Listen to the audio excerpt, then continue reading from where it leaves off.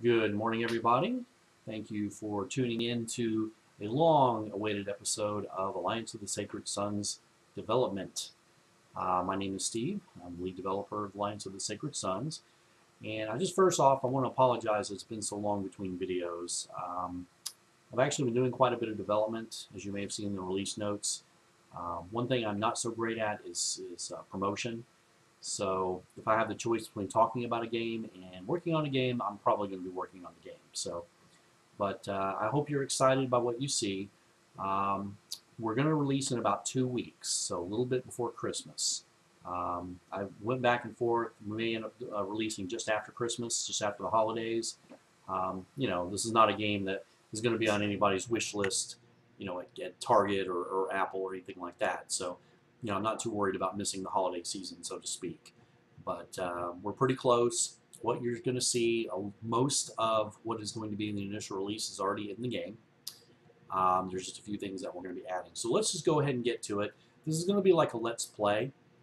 So I'm going to kind of explain some of the concepts. I'm going to assume that this is for people that have never played either Imperia or seen Alliance of the Sacred Suns. Um, so I'm going to be, for some people, this may be a little bit redundant but I want to make sure that people understand what Alliance of the Sacred Suns is all about and how it differs from a normal 4X game because obviously there are a lot of differences and that's why we call it a 5X. So we're going to go ahead and start a new reign. So the first thing you're going to do is set up your galaxy size. So we have small, medium, or large. I usually go large. Um, right now there's no other civilizations. You can actually add them, uh, but they don't really do anything. They just kind of sit there. Um, we do the empire size in light years. So this is essentially how large a sphere that your empire can be initially. In other words, that's a sphere that they look for planets and look for uh, colonized systems. So I like to keep it around 20,000. It goes up to 20. Uh, I like to keep it around 18.5. No civilizations. There'll be more options to set this up later as we get more into the uh, development of the game. So the culture is the next step, and this is a very important part because this determines several things about your uh, reign. First of all, it's going to be your culture, which gives you certain bonuses. Um, cultures are better at things than others. Uh, they have certain ideas. Uh, that means they're more or less tolerant of factors within the game. And also determines what houses are more likely to be friendly with you. That's very important, as we'll talk about later. So Neo-American is a pretty basic one. This is kind of the generic, uh, what would happen if America continued on in sort of a broken society a la Fallout type uh, look. Then we have traditionalists. This is kind of your church tradition. Um, you know, what would happen if the church essentially took over. Um, then we have the Technic, uh, a little bit of uh, the Matrix going on. Um, this is a very highly futuristic development society insofar as uh, society and technology have come in the future of Alliance of the Sacred Suns. And then we have Mercantile. Uh, this is kind of the Venetian uh, trade empire reborn uh, Gilded Worlds, and this is a, a, little bit more interesting. This is kind of a, uh, what if an entire civilization took an extended acid trip and lived in, in decadence? And it, it's a very interesting uh, culture. I, I, have to give Oliver a hand on this one. This is a very creative uh, culture.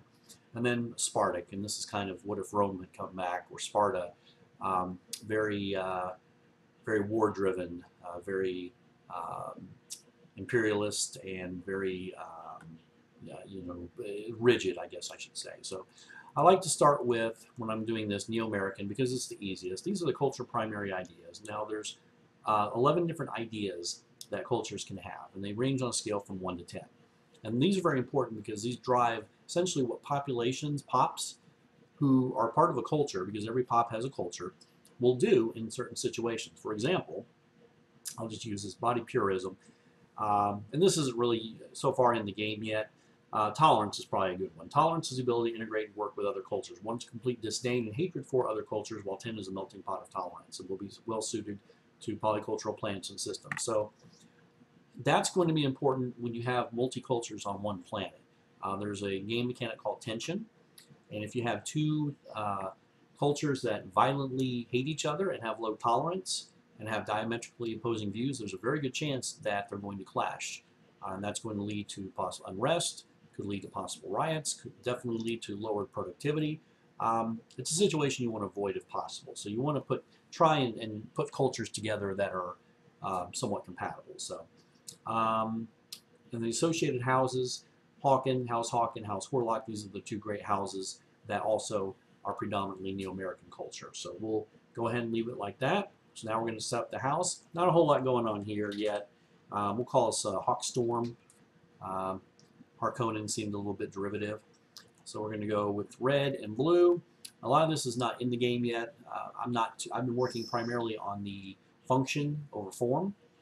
Uh, but eventually you'll be able to select your multi-symbol, choose the background, colors, and you'll actually have a house crest that uh, relates to that. And so finally we go to the Emperor creation. So this is also pretty unchanged from what's before. We'll keep it, uh, well, we'll Stevonius, sure. Stevonius Hawkstorm the first. You always take the name of your house. And we'll go with this guy. He always reminds me of the guy in uh, Star Trek Nemesis. I don't know if you have seen that, but uh, he kind of looks like young Picard. All right, so we're going to go ahead and start. Now, one thing we've worked on quite a bit is turn generation. The game actually generates about five to ten turns uh, beforehand um, to kind of generate a little bit of history and a little bit of migration and kind of build up. Nothing like Dwarf Fortress, so no, there's going to be no thousand year uh, consolidated history or anything like that. But it is a way to kind of hit the ground running. Um, because remember, you're not starting from a single planet uh, out in the middle of nowhere. You're starting from a fully developed, albeit decaying empire, uh, more more like Crusader Kings or Europa Universalis. So that's that. Nope. Quit. Quit telling me that. That's really annoying. Anyway, anyway. So I refuse to upgrade to Windows until I absolutely have to. So in another probably 15 seconds or so, we'll go ahead and see the game. And uh, mainly what we're going to do, I'm going to go through about five or six turns and just kind of show off some of the different uh, uh, uh, mechanics of the game and how they interrelate with each other. And also kind of let you know what is going to be added before the first release, which again will be in a few weeks. It will be $7.99. It will be available on our website. Uh, we will not be going to Steam for quite a while. Um, it's been discussed, but too many good games have gone by the wayside because otherwise good games have been ripped apart because they had things that just weren't quite ready. And I don't want that to happen to this game I've been working on for several years, and a lot of times been put into it by a lot of people. So we really want to be ready. All right, so here is your empire. So let's kind of zoom in a little bit. So you see we've got, uh, it looks like we're settled on two two constellations. So the constellation Enosis and Pratica.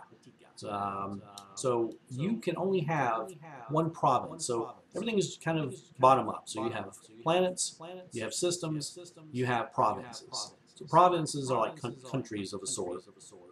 And you can only have one province per uh, civilization in each constellation. So in order to expand, you actually have to take over more constellations, which as there's more more uh, civilizations out here, could be a little bit more difficult. So we zoom out, we see, you know, there's quite a bit out there, um, but right now the civilizations have not been defined. So first thing I like to look at when I'm trying to figure out what I'm going to do is I look at my um, well, actually, I look at my house. Let's take a look and oh wow, well that's kind of unusual. They all hate me. So even the ones that no, no. So here's the thing: there are ten great houses, including yours is eleven. But there's ten uh, bespoke great houses, but only five of them are in the game at any given time. So you may have five completely different houses uh, in in any one game. So the houses that are normally Horlock and Hawken that are normally friendly to me, they did not come up in this game. So I have five houses that are basically pissed off at me. Um, this means that we're, we're essentially rivals. So that means a lot of things. First of all, it means that most of their characters will not be available to me. I'll show you that in a minute. Uh, if I need uh, uh, viceroys, or if I need uh, governors, or if I need people on projects, um, more likely than not, they are not going to um, to work with me. It also means what that also means is, for instance, in Barwon, they have a very high merchant skill. That's what the top hat means. So if I want to boost my trade, Normally, I would put a viceroy or system governor in who was really good at trade because their uh, tradition levels are kind of a skill uh, that gets passed on to the pops under their auspice, and they get better and they have better uh, efficiency at what they do. But since they hate me, there's a very low chance that any of them will work for me. You know, Milok. Here is someone with um, mining experience, 65. That's very good. So one of the things you run into early is you run out of energy very quickly and minerals because projects cost a lot of energy and minerals.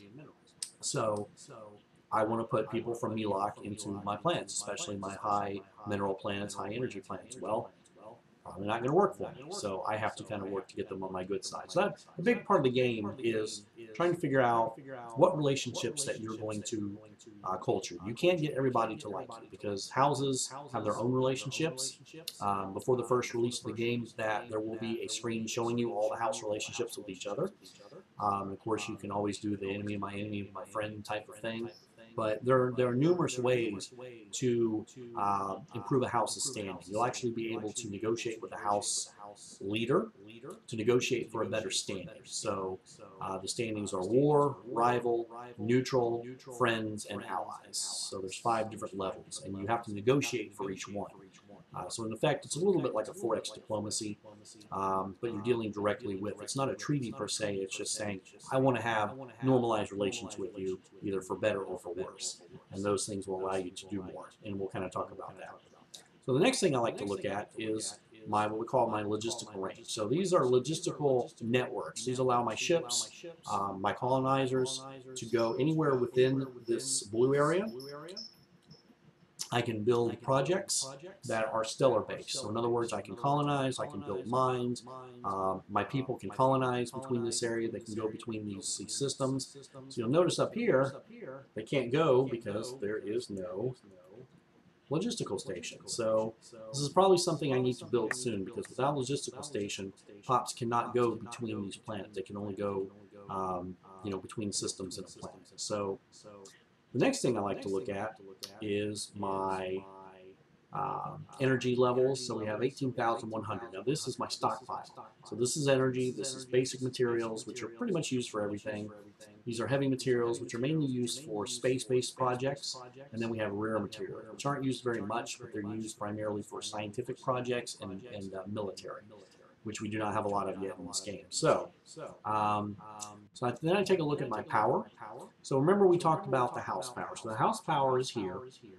Um, you can see bar 1 has a 361 power. Now power is derived from a lot of things. It's derived from holdings, derived from the uh, value of those holdings, it's derived from the characters that are in that house, their abilities, their holdings, their wealth, um, their, in, their inherent power, so which is kind of their resource network.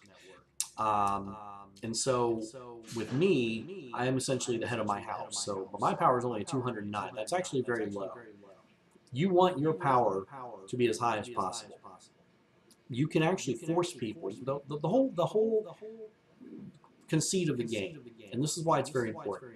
You are the emperor, and that's great but you do not have absolute power. This is not a typical 4X where I just go in and say, hey, let's go build a, here, let's go here, let's go into this planet, Zernitria, let's build something. Well, I may or may not be able to do that. In a normal 4X game, you click on it, you say build a mine, it takes four turns, and it's done.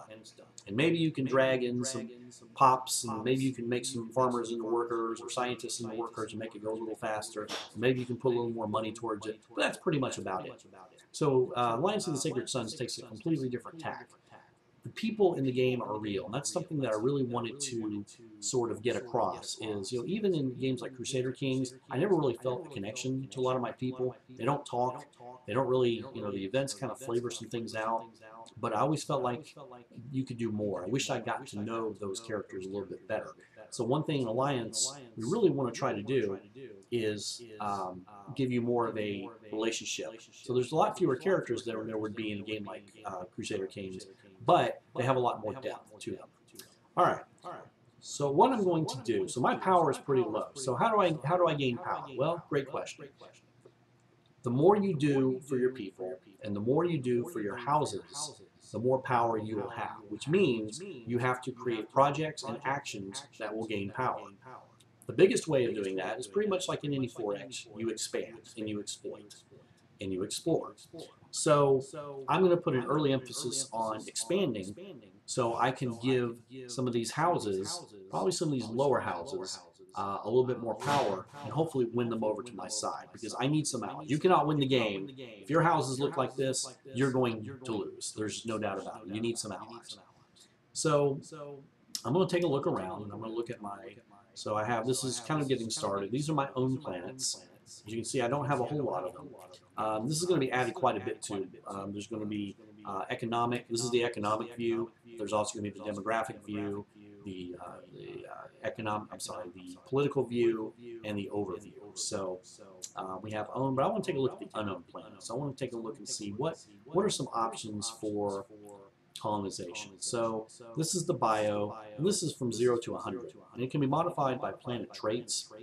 Basically, the higher to 100, uh, the more it can be colonized. And uh, I'll show you in a minute how regions come into play. It kind of gives you an idea of what you might expect. but this is sort of an overview. And there'll be sorting mechanisms for this too. Uh, I just haven't done a lot with it yet.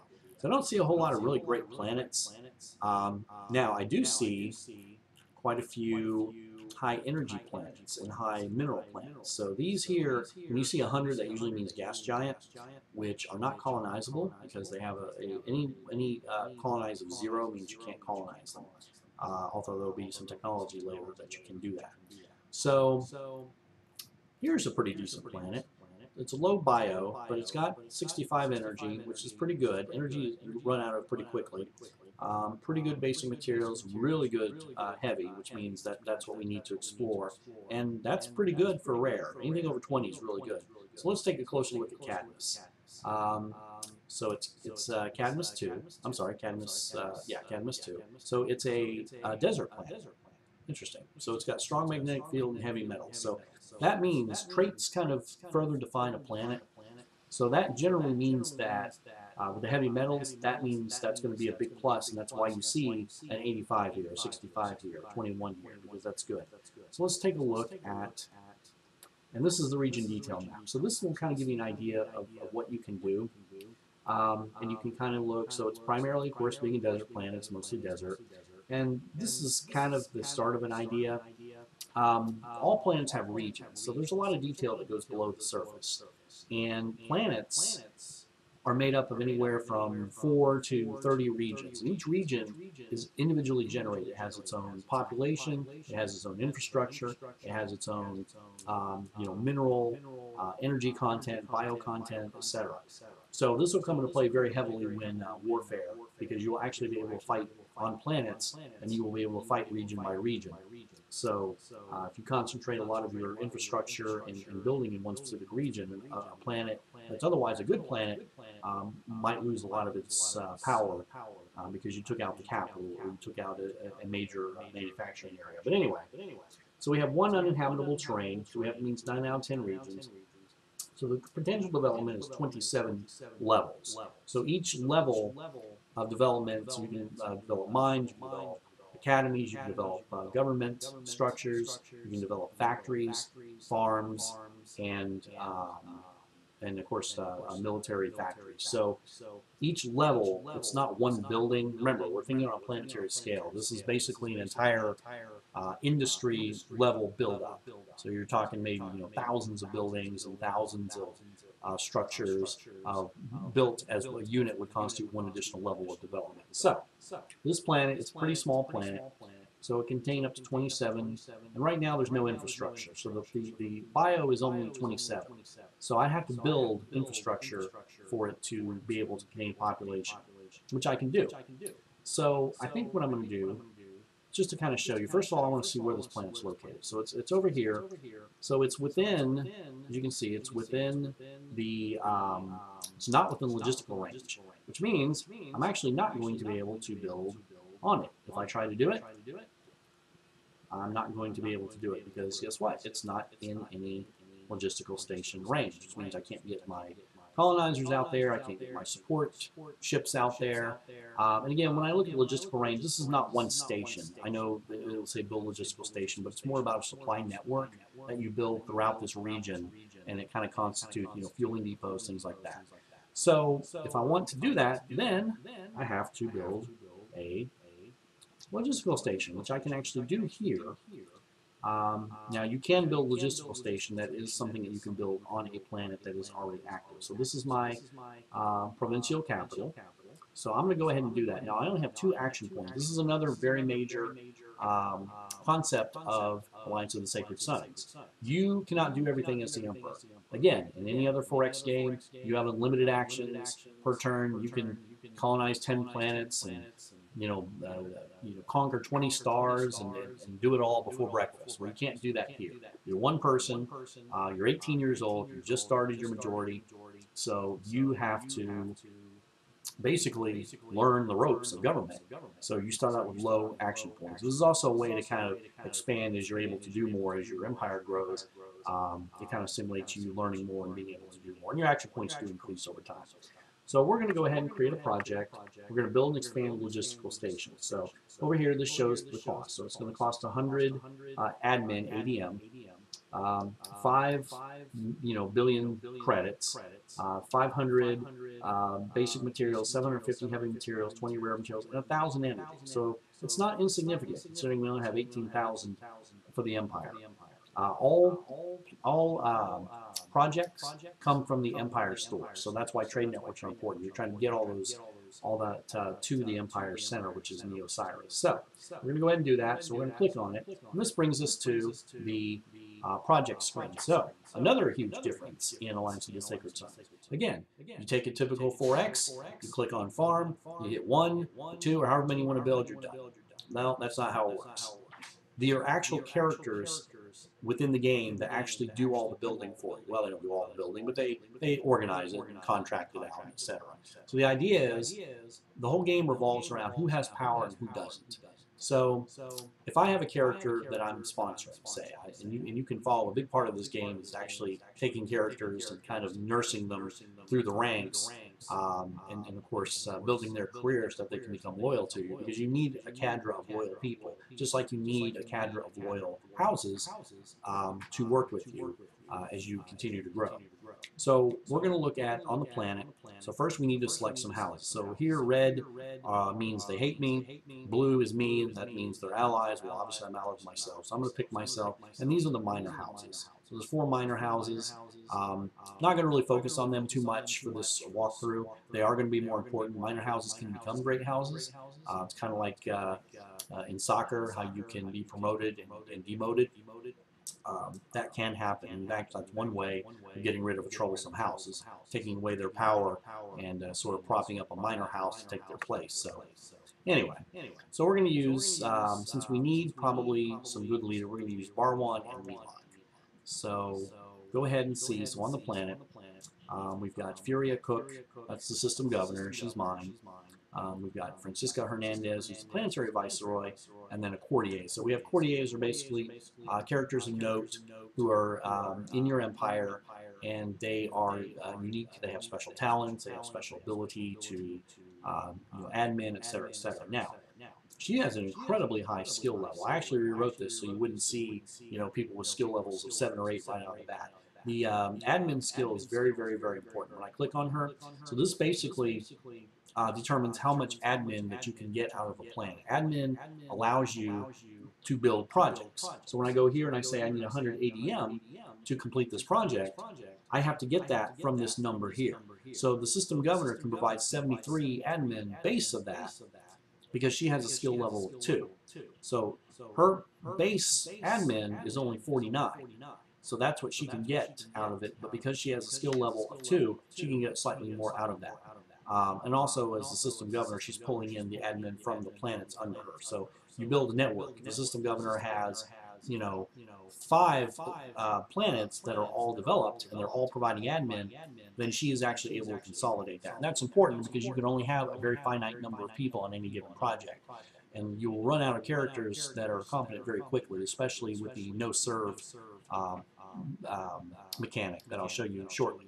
So the first thing we want to do is we need an administrator. So the administrator is determined by skill level, and then this is their effect.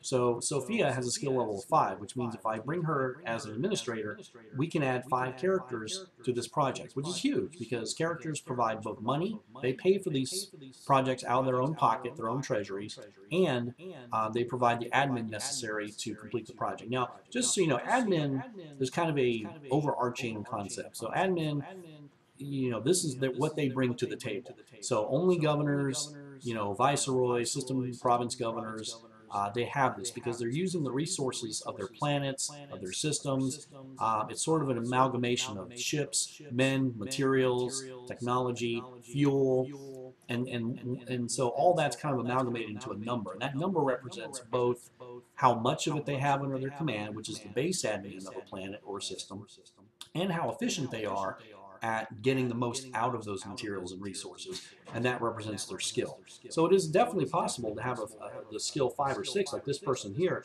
If I put them on a planet with a base 100 admin, they might be able to get 150 out of it. And so it's very important. These people are very, very rare.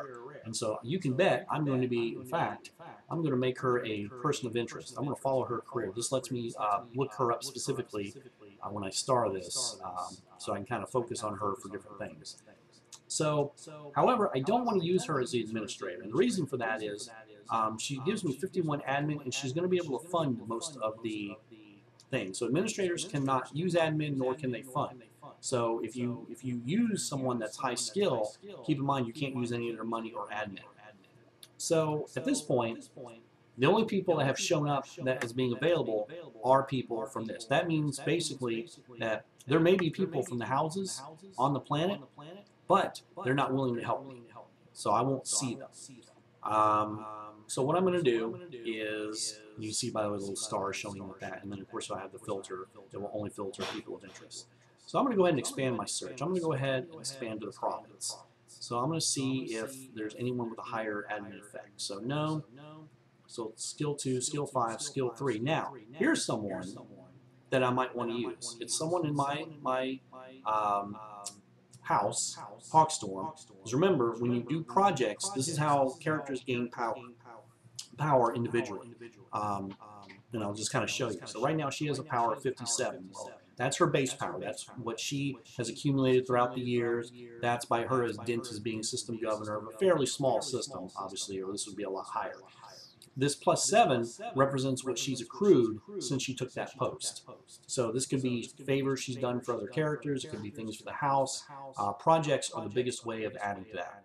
Um, so if you have someone that you're trying to kind of build up their power base, so right now we're friends, which is the highest tier relationship. So I want to help her out. I'm actually also going to tag her. Um, and I'm going to want to kind of push her career. So you know what? I'm going to make her the administrator. So by making her the administrator, that gives her, see this plus 10 here? Administrators automatically get half the power of any project.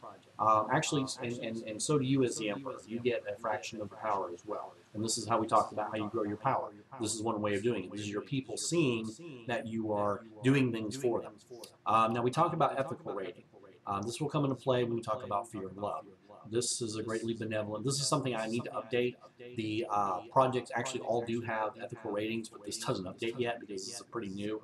But this will show you whether essentially your people will see it as something that, that they will love, and that will increase your popular support love, or whether they see it as something that is detrimental to them and they will see it as something that is more fearful.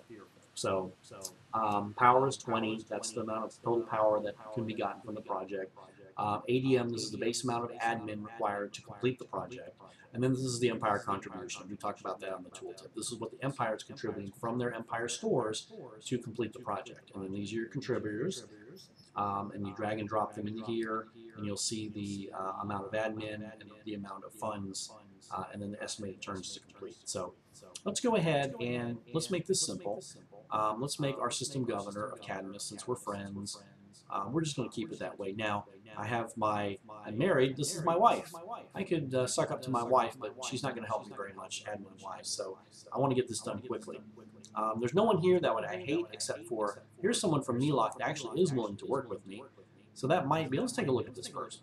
Huh, it's a courtier. So he's of extremely low power. He may have a, his family may have some uh, connections to give him some kind of power, but most courtiers have no power at all. Um, but he's got a decent admin skill. You know, two is okay. Starting out, three is good. Five is like, whoa, that's amazing. Um, doesn't have very much money. But when we look at his talents and his traits, to look and see whether this would be someone worth sort of grooming. Um, so we have emotions, motives, and talents. So emotions, caution is used uh, for the AI when they start determining what they're going to do. A high amount of caution means they're going to be more cautious in changing their goals. Also, when they're a governor uh, or a viceroy, cautious about uh, making trades uh, when they don't have a lot of, of, of uh, materials. Passion, um, very, very passionate character, um, will tend to have more events that have to deal with passion and foolish, rash decisions. Um, drive, low. Now, this is more about how often they change their goals. Each uh, character, when their AI starts to kick in, they'll have a series of short and long term goals that determine what they're trying to do within the game. People with low drive will have less uh, action points, essentially, to uh, move towards those goals. That represents their lack of, um, basically, they're lazy, for lack of a better word, and uh, they're not very willing to change their goals. So, doesn't really until the AI kicks in. These don't really do much. Uh, motives now, piety does matter, uh, especially when we add the uh, religion uh, uh, mechanic. Uh, now, the ones that really matter are empathy and honor. So, empathy is very important when you're putting in a viceroy. So, your people want to be led by someone that they feel like cares about them. So, if they have a high empathy, they're going to have a higher love rating. They're going to be more likely to attract people to their planet. They're going to be more likely to pick build plans that reflect their people's needs instead of their own needs. And um, they're going to slightly help your uh, fear drop because it shows, hey, I put someone in charge that has high empathy, they care about my people. Um, your, your, your pops will see that and give you a little bit of credit. And then, of course, honor. Honor is very important in two ways. Uh, if uh, and see, his honor is average. So if he had a low honor, um, if he had a high honor, he probably would not be showing up here because uh, he would probably want to stay with his great house. Uh, he feels that honor towards his house not to help me out. So uh, he would not show that. But an average honor, uh, will they take bribes? Uh, will they help with projects? Um, you know, how willing are they to go along with things? Um, you know, will they go along with their house, basically? So if it's low, there's a pretty good chance they will, they, they will break with their house. And then you have your talents. Charm is also very, very important right now when it comes to viceroys because you want, you know, these are politicians at the end of the day, and you want a charming person. Um, charming, very charming uh, viceroys and system governors and province governors are way more likely to attract pops uh, through migration. Um, intellect, uh, low intellect. Now, this is going to be very important. This affects kind of their starting stats, how quickly they advance. Uh, also, the kind of decisions, the, the quality of decisions that they make uh, with regard to their goals. So there's a good way to go about things and a bad way to go about. So this person is kind of stupid. So he is not going to advance very much. This administrator skill will probably never go up uh, or go up very, very slowly. Um, you know, his internal uh, uh, talents will probably never really go up that much.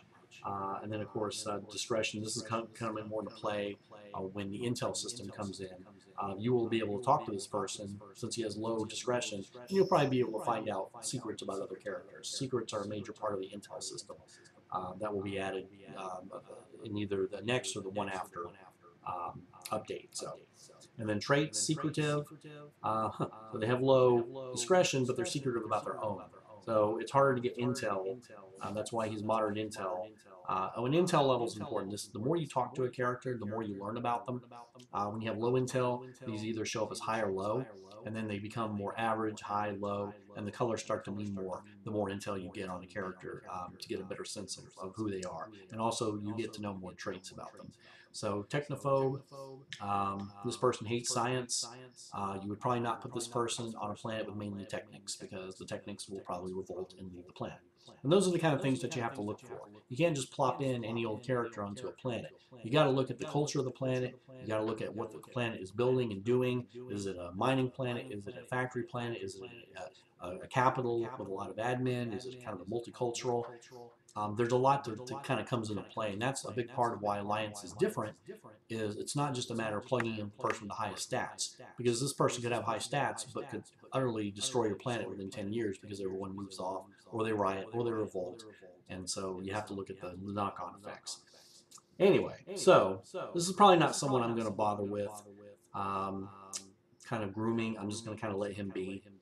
All right, so we're just going to make it easy. We're just going to move over this person. So now we have over, um, because we have 92, but we have 113% administrator effect. So we actually have enough admin to execute.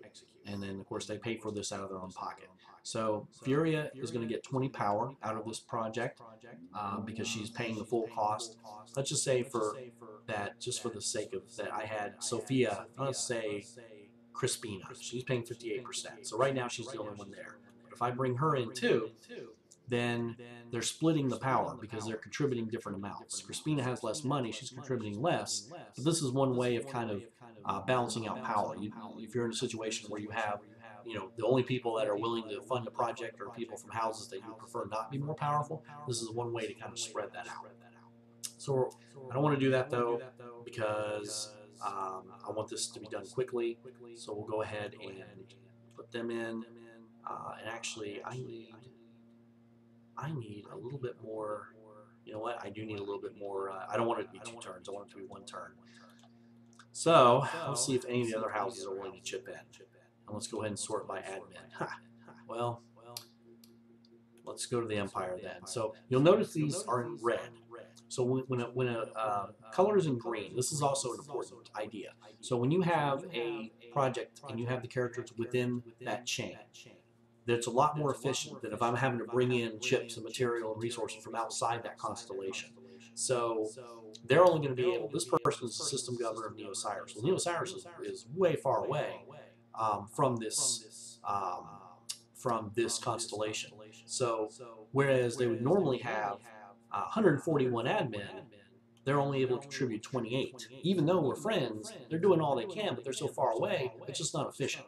And so it's very important to build these ADM chains. If you plan on developing a region, a constellation, it's very important to have admin bases there um, because it is extremely inefficient to bring in characters from other parts of the of the empire, and that's um, so that that's one thing to really focus on is building that good logistical network of, of admin. So, um, but since I don't really have any other good options, uh, I'll go ahead and use Crispina. She's the planetary viceroy in New Terra. See, even New Terra. New Terra, this is your freaking capital. But again, only 10 uh, ADM, and this is with us being friends. The lower the relationship, the lower this gets, and the lower the uh, efficiency gets, because they're less willing to work hard for you, basically.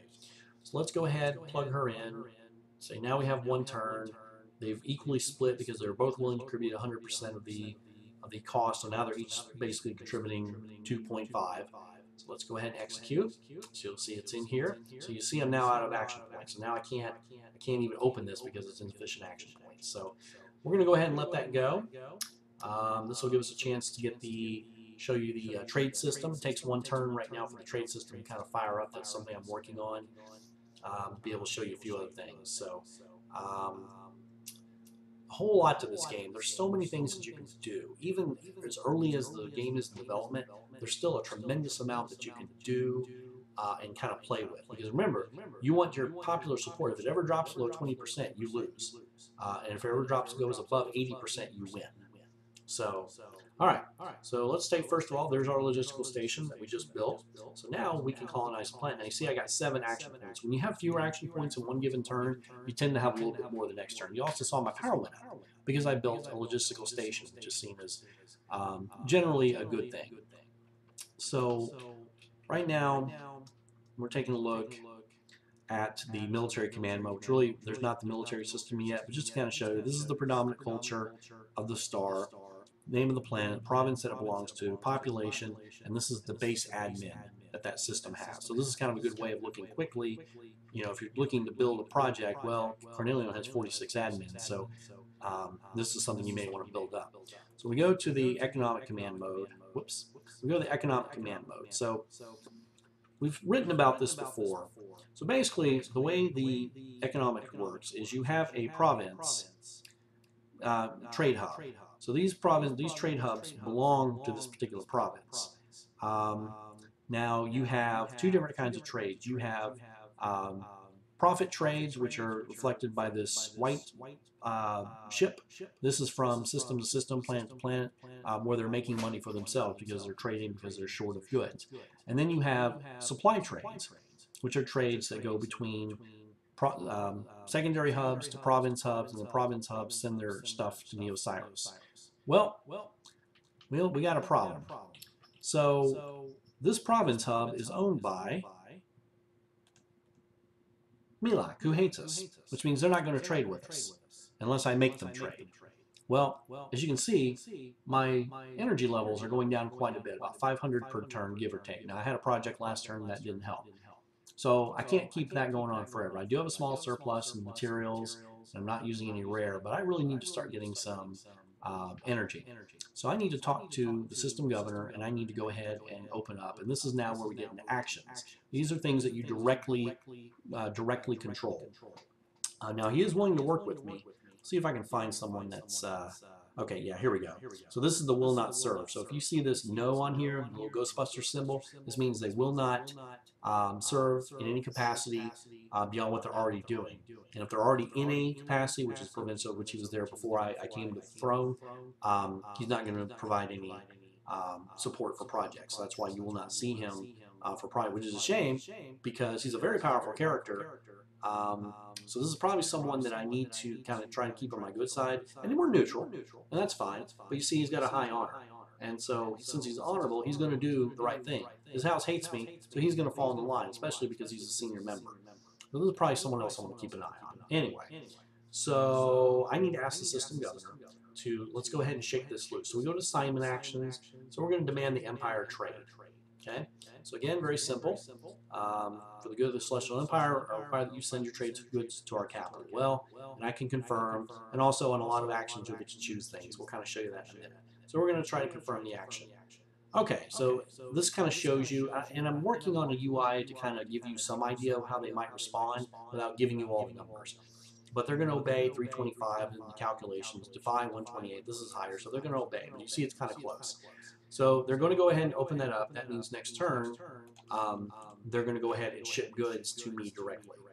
So a big part of this game is developing trade networks as well. So I know that since I'm running low on energy, I have a negative energy. If you look at Neo-Osiris, um, this is not the capital world of most 4Xes. This is more like sort of the Trantor and Coruscant, where they're taking up, it's all about the admin. So you look, energy minus 172 by itself very few build points. Um, this is mainly about the admin. So that's the model we chose to take, where you basically have a overwrought empire um, where the capital planet is all about admin and you have to kind of support it. So if you think about Foundation, you think about how they talk about Trantor having those 20 worlds uh, to kind of support you know the one planet, kind of like that. So you you have to make sure that your your home planet uh, doesn't fall into revolt. So um, what can we look at now? Okay, so let's let's take a look at planets. Let's kind of take a look at um, what this kind of does. So we have total revenue. There's actually a bug in this. It's, it's not actually correct, but it's actually you know 799. There's something going on here, but you see that your your different people up the chain get a certain amount. Actually, let's go to another planet to show that. So we have 5 BC. Um, that's the expected revenue for this year. Um, there is no trade going on, and I'll kind of explain trade, uh, um, retail uh, another time, uh, and there's no ingoing or outgoing uh, trades. As you can see, myself as the emperor, I get 4 billion credits, and then my uh, domestic prime gets a cut, a very small cut, 3%. Uh, my provincial governor gets 10%, but again, since it's such a small cut and I get 75%, I pretty much get all that. There's some rounding here. They get like a percentage, but um, no trade going on, no trade hubs, so they cannot export uh, or import. Build points.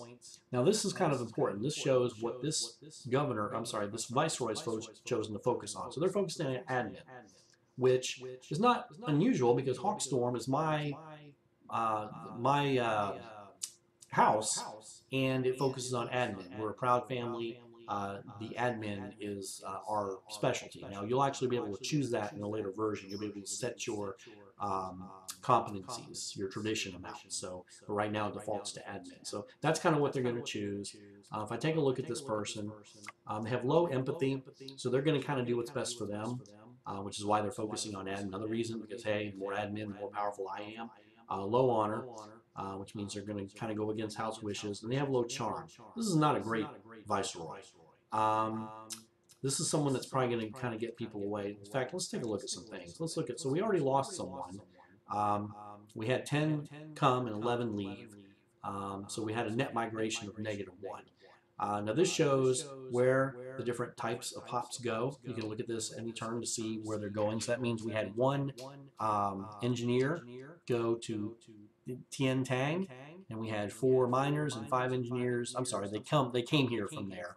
Um, so we gained six miners, but then we lost six going to other planets. Um, now sometimes they'll kind of swap because there are different cultures. Um, you'll see here the desirability by pop. Now this does not include jobs. Um, this is just the base desirability. So since this governor is of my house, which is known for its admin, and we're building admin, um, the need for administrators is much higher. So if I'm an administrator looking for work, pop, then I'm probably going to want to go here first. But do we even have any admin jobs? Well, good question. So we have no admin facilities, which we're an established colony. We're not a we're not a base of operations. So this viceroy decided, hey, let's do something about that. So 32% of all the build points are going towards um, administrative levels. As you can see this bar here, it's about halfway done. Um, they're building farms, but it's not a priority. But you can see, even though we're losing food, since they are low um, empathy, they're not going to care so much about you know things like food and water and basic uh, needs of the people. Um, power, uh, also important because they're losing a lot of power. Uh, but again, not so much for the people, more to make sure that they have their own, they can fuel their own machines and whatnot. So, over here, by the way, there's just so much to show. I'm kind of just going around here. Um, there's a lot since the last uh, video to kind of show. Now these percentages, this shows the capabilities uh, and the, the multipliers based on the Viceroy's house and also the system governor uh, and the province governor. This shows how good they are. So because this person is a very high intelligence, um, they are much more able to basically teach their planet what they're good at, which their house, my house again, is Hawkstorm, which has an affinity for admin. So you can see this admin multiplier is very high. Um, so the average skill level is going to increase over time.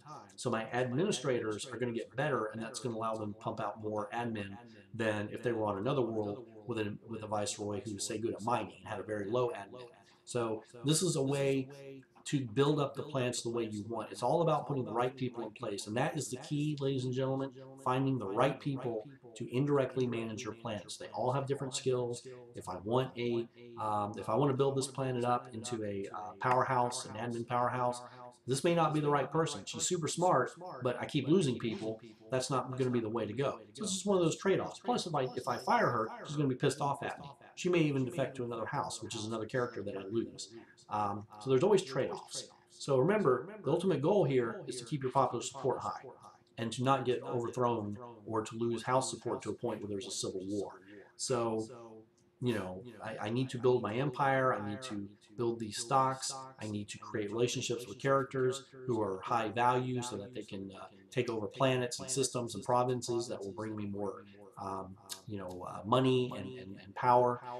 So this is kind of the, the, heart of the game as it stands right now. Now, when the AI is put in, which will start in the next um, system or the next uh, update, that's going to be very important. Right now, I'm going to go ahead and sack this person. I'm just going to kind of show you what it looks like. I'll go to Hostile Actions, Remove from Post. Now, I cannot remove a post of someone that's, that the holding is not mine. You can see this is my holding, um, but if it was not mine, I cannot remove them, okay, because that's another, the house owns that, that basically. So I'm going to go ahead and remove them, um, and I'm going to go ahead and pick someone that's going to take it over. Now, again, if they're not going to work for me, then I, they won't see them here. So I've got a courtier who's got a, a two admin, which is okay. He's got high charm and he's got low, I'm sorry, low charm but high empathy and high intelligence. Hmm. That's not may not be a bad choice. Um, two average intelligence, low empathy but high charm. So he's kind of a average politician type. Uh, plus he's a technophobe. Oh, and he's a backstabber. Oh, that's not good. That's going to come into play when the Intel and AI system comes into play. Uh, this guy is more likely than not to turn on me and give the planet to someone else. So uh, for sake of what I would do if the game were fully formed, I'm not going to choose him. Huh. Psychopath. Well, she's got one admin ability. She's smart, but she is low empathy and average charm, and she's a psychopath. Nope. And oh, she's got a great admin, a three admin. She's intelligent. She's got average empathy and low charm. Well, I could probably live with the charm. And she's a fast learner, which is great because that means she's going to uh, her admin skill is going to go up, and she's going to be able to uh, um, improve her internal statistics more. So I'm going to go ahead and go with her. Oh, and she hates me. Uh, this is called Prey. If I click on her, uh, I'm going to go ahead and add her on there. Um, so now you see she's she's there. Um, okay, so now of course she hates me because I've just removed her. Now I, I had another option. I could have actually gone, um, and I'll show you here. Um, I could have simply designated her for assignment.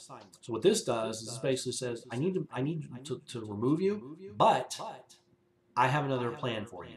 And within three months, I'm going to put you somewhere equal, equal to or better than where you were at. So I'm going to put you as a viceroy, or I'll put you as a governor, um, or obviously a prime, although that would probably be silly. And, but if I don't do that, then they're going to be very furious with me and, and probably issue a challenge. So, uh, but I chose not to do that in this case. So now you see, now she's a different house. So now you see how, remember this was like 2 point something? So now it's 1.11 because they don't specialize, Igajora Alti doesn't specialize in that. They specialize in farming and somewhat in, um, uh, in this, but mainly they're high tech. So this is actually not correct. This should actually be 80. Uh, I'll have to fix that. Um, but unfortunately, since I don't have academies in the uh, reform system in yet, it's not going to help me very much. But I'm just trying to kind of show you some of the different, um, I guess, the, the mechanics and how they kind of interplay. So you see that my now her build plans changed too. See, now it's high tech. Well, because she's from a planet that's high tech. And because she has average empathy, which is better than the previous one, um, she is going to build uh, almost as many farms, although she's going to focus hugely on energy because you need energy to build all these high-tech um, uh, academies and, and, and uh, whatnot. So um, now you see here, these are called my fluxmen. These are the people that provide the energy. Wow, this went up to 2.76. Remember, this is like point something. So this is kind of her her specialty is getting um, this energy out of that. So um, hopefully that's going to lead more fluxmen. So now when I go to my demographics, wrong one, now you see that fluxmen are hugely in demand. So you see, hopefully you can see that by changing the viceroy and to a lesser extent your governors, you're affecting what kind of pops come to your planet. So you're pulling people towards that planet um, when you build new colonies. That's another way that you can pull people from one planet to another. Uh, it's kind of a sneaky way of, of, doing something. If I have a planet that I don't want to necessarily take away from a, a, a house, which I can, I can take away a, a holding. I'll actually show you that here in a second. Um, so let me go to, you know, I don't think I have a planet that actually, okay, here we go, Campania. So this system is, is held by uh, Milok. So I could take this entire system. I could go into hostile actions. Nope, wrong one. Assignment action. Nope, house actions. That's right. It's new. I can remove this holding. I could take this whole holding away um, from Milok and uh, make it mine, which I'm going to do just to kind of show what happens. So before I do that, notice my fear and love levels. My public order, anything above 70 is pretty good. Uh, anything above 90 is like phenomenal. It means basically it's like peace on earth. Um, the lower this gets, the more likely it is for there to be revolts or um, loss of production and, and, other bad things happening. So, um, so right now there's no fear. Uh, my love level's at 49%, so it dropped a little bit. But let's see what happens when I do that now. First of all, I'll take away. So you see the cultures: Gilded World, 60% here, 51% Gilded Worlds. Well, Milok um, is is uh, a mercantile culture. So they're not going to be as affected directly, uh, but since I don't have a Gilded Worlds culture, they're going to be more upset. So let's go ahead and just show you what happens. House actions, remove holding from house. I must insist that we return to Imperial hands. Will you obey. I have it set so that we'll do it no matter what, basically for purposes, but in the game itself that we ship, they may not do it, in which case you'll have to either go to war or find another way to reduce the power. All right. Uh, no, however, their house never forgets. I have served you my entire life, and this is the knife I get. I will get my revenge. Ha ha ha. So, now it belongs to us. So now, when we go back to here, now we've got quite a bit of fear because you know, uh, taking uh, property by fiat is, is not super loved among the populace. So you see my popular support dropped immediately. My power increased because now I have a new holding. Hey, I got a whole system now. Um, but more people fear me Um, you know, quite a few more still love me. I still have 44% popular love support versus fear. Uh, but the, the gap is decreasing. So if this number ever gets higher than this number, so basically what that means is on this planet I rule by fear. So um, I can lose power if I don't continue to do things that um, basically scare the pot. They're only doing things for me because they're afraid of me, not because they love me. Uh, and it's a lot, I'll, tell you this, it's a lot uh, more expensive to make people happy than it is to bring them in line. And that's another decision that you'll have to make depending on the projects and actions that you take. So, um, all right, so obviously, um, he's pretty unhappy at this point. Uh, Vendetta, yeah, he's, hey, you took my, my thing. They're still in charge, but you basically socked it to their house. So when I go to Milok, see now they're at 148, and they're going to drop even more. This calculates every turn. So they're probably going to drop below Musharraf. So if I want to stick it to Milok, I just did that. But of course, now I, I, I run the risk of their people plotting against me, possibly, um, when the AI comes into play. Um, you know, maybe even going to war with me to get the planet back or, or the system back. Um, so there's a lot just involved in the decisions you make. It's not just a matter of taking the planet, oh, okay, we're done. Um, that will come more into play as we add more to, to that. So let's go ahead, before we end this, uh, I know we're getting close to an hour, let's go ahead and uh, show you how to build that, what we're talking about. Um, so we're going to go build a planet. So now, now we have the options because now we have a uh, logistical presence there. So we're going to go ahead and colonize the planet.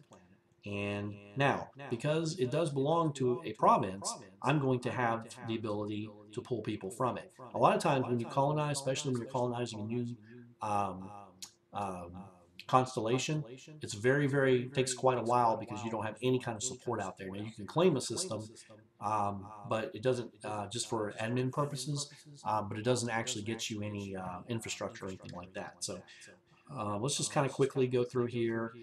Um, oh, of interest because I remember I wanted to tag them. So they got 115. Let's go ahead and give Sophia, let's go ahead and give her the administrator part. And then let's go ahead and look at my admin. Um, greater than zero, so we have back to Furia. Um, yeah, I think, but see, she has no money, so I'll use her for the admin. But you see, it takes 300 to colonize a planet. That's a lot. Look how much energy it takes, 5,000. That's why you don't want to just colonize every planet that you see. Um, it's going to make your people very happy. It's going to increase your base of power.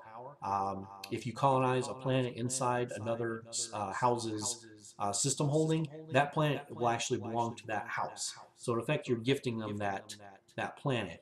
So something else you have to think about. They'll obviously be happier, but you'll be increasing their power as well, and you'll have limited control over the planet. So, um, I guess we'll go with her.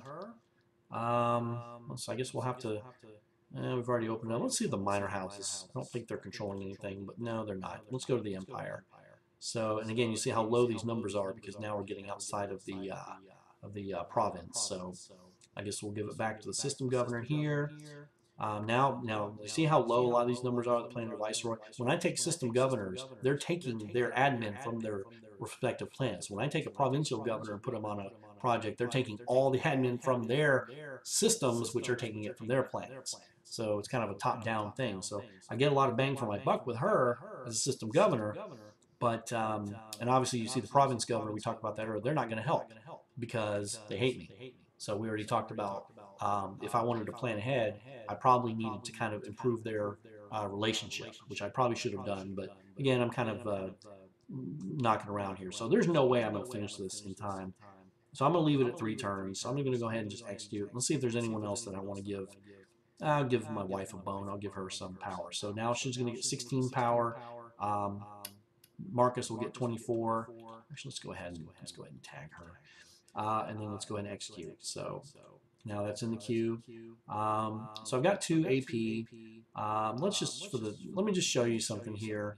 Um, how you can help. So right now this person does not want to help me. Um, she considers herself prey because she has low power relative to me, um, but we do not get along. So let's see. We have these different actions that you can do. Uh, I can give a speech. I can express support. I can give a gift. Um, so let's go ahead and just give a speech. So I gave my speech, and of course this has differs depending on some internal characteristics. I'm still prey, but my trust went up a little bit. So if I continue to do this, uh, eventually I will. Uh, let's give her a, gift too, just just for the heck of it. Um, uh, and I need to finish writing the uh, script for this. So that also went up a little bit. So um, this is just kind of ways to, but see now I can't, I'm out of action points, and now I can't do any more actions. So, so we're done here. Let's go ahead and end the turn. You'll see the amount of turns. This will kind of fill in. Um, what I'm going to do now, before we kind of end this part, I'm going to kind of fast forward to show you what the, the effects of colonizing a planet and how it affects um, uh, migration. Because one way of pulling people from a planet is provide, providing a new opportunity uh, at another planet. So, um, all right. So turns are pretty good. You know, turns only take about 20 to 30 seconds to process, which is pretty good. Now that's going to go up when the AI comes into play. Um, all right. Let's go ahead and do one more. So this actually over half full. Now the estimate to turn, it's kind of an estimate. There's a little bit of noise built in. So when it says three turns estimate, it may be two, it may be four, it may be five. It won't be 20, but it's not an exact thing. And that's just kind of another way of, um, I'm not a big fan of exact numbers in this game. So now you notice, see my energy's down to just over 11,000. I'm still losing. I've got to find a way uh, to start bringing in some energy pretty soon, which is going to be either through the trade network, uh, through negotiating with the house, um, through um, which is what I'm doing here. I'm actually going ahead and I've uh, mined this planet. So now you see Emerald. Huh, so they come in. The public order is very low to always start with because you're bringing people in that are already kind of disaffected. Um, so they're looking for a new place to go. Um, so let's kind of take a look here. We've got uh, okay. Nope. Yeah, okay. So 17 million. So we've got 15 farmers have come, two miners, which I really need more miners, um, which is, uh, oh, they built admin. Okay, so what's happened is I put someone in charge who's focused on admin. And I've, there's someone here, and they hate my guts. Oh, look, it's our friend Mandragora that I had kicked to the curb. You remember her. So I don't want her as part of this, so I'm going to kick her to the curb again. Um, going to remove her from post, and at this point, she would probably go to war with me, probably start a coalition at some point. I want to get someone that's a miner. So I've got a courtier who's from Milok. He's got two admin. He's got a little bit of money. Um, he's not very smart, but he is reasonably um, reasonable amount of charm and a reasonable amount of empathy.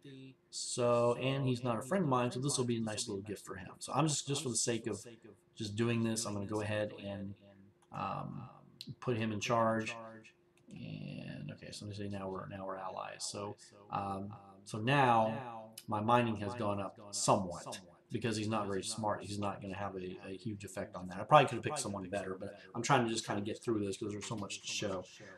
So when I look at next turn, you're going to see the migration. And you'll see this population. You may see it increase, but it's pulling from other planets. All right, so now you see how this kind of went up. So now I've got 15 farms.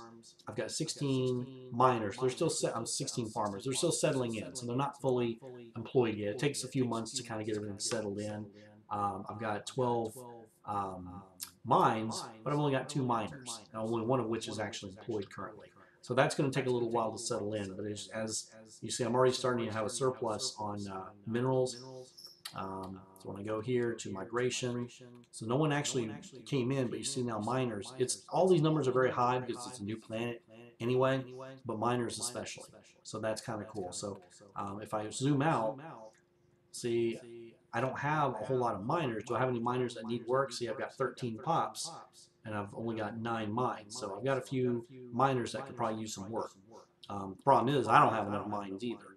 So I'm going to have to build more mines. You see, now their focus is mines. I can make them change their focus. If I go to Simon Actions, I can uh, improve the sector. I can actually change their mines for them, but he's doing what I want, so I don't have to spend AP on it.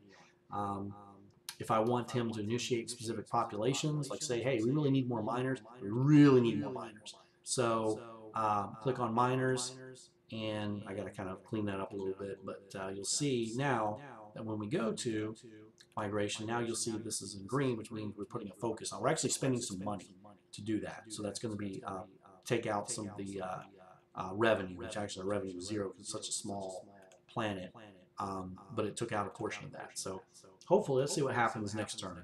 And see, there's so many ways. I mean, you only have two AP. I've spent literally a year focusing on like one character, building them up, um, working on one planet, uh, seeing how to get kind of bring people over, um, kind of manipulating. You know, I can build a mining station, and that would have brought a lot of miners. But this planet, because it has such a low uh, admin, I'm sorry, a low uh, bio, it's going to be kind of a tough sell.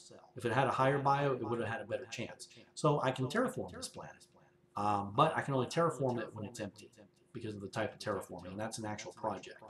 Um, and that's through. Uh, um, I could, but I, you know, uh, I can't do it because it's it's uh, it's if it was un. Um, if it didn't have any pops on it and it was uninhabited, then I could terraform it. I could bring the uh, the uh, bio up, but unfortunately, I've already put people on it. So um, pretty much everything's stable right now. Um, my public order is increasing a little bit. Uh, my love's increasing a little bit because I'm doing good things. See, my popular support is dropping very slightly. It's, it's still pretty high, but it's not great. So as this drops, um, there are bonuses that you get for people going along with what you're doing and actions, making them do what you want them to do. So as this starts to drop, they start to see, oh, hmm, they don't have the backing of the people, and they become a little more belligerent. Um, that kind of affects their um, decisions. Of course, your power also is, is by far the most important, especially if you're uh, ruling by fear, but this is also an important part. So, all right, well, I've shown you guys quite a bit. Um, not everything by far, but it's enough to kind of get an idea of the gameplay and kind of the flow and how it works. There's still a lot more to show, uh, which I will do another video shortly, but hopefully you get an idea of how everything works. And um, I've had a lot of fun uh, going over this with you, and I've hoped you've stayed through this. It's over an hour long now. Um, but uh, I'll probably release another video in a week or so uh, with a few more changes. Um, but I really look forward to seeing what you can do with your empire and seeing how high you can get your popular support. And if you have any questions, feel free to post them on the um, on the YouTube site. Thank you guys very much for playing along. Have a great day.